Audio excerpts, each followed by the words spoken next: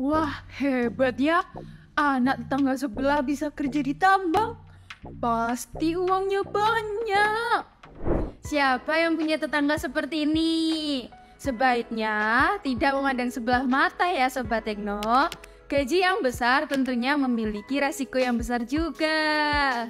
Sebagai pekerja tambang, gaji yang besar merupakan umpan balik yang setara dengan pekerjaan yang memiliki resiko dan bahaya yang akan mereka hadapi. Yang pertama, rutinitas kerja yang berat.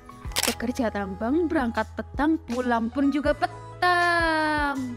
Yang kedua, resiko tinggi seperti adanya ledakan, longsor, kecelakaan, dan masalah kesehatan akibat paparan bahan kimia.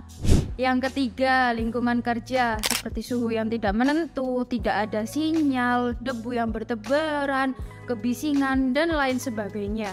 Yang keempat, memiliki keterampilan khusus. Pekerja tambang harus memiliki keterampilan khusus sesuai dengan bidang yang akan dijalani. Nah, keterampilan khusus ini tidak datang dengan sendirinya, melainkan adanya pelatihan dan juga pengalaman. Ingin bekerja di tambang tapi bingung dapat pelatihan dari mana?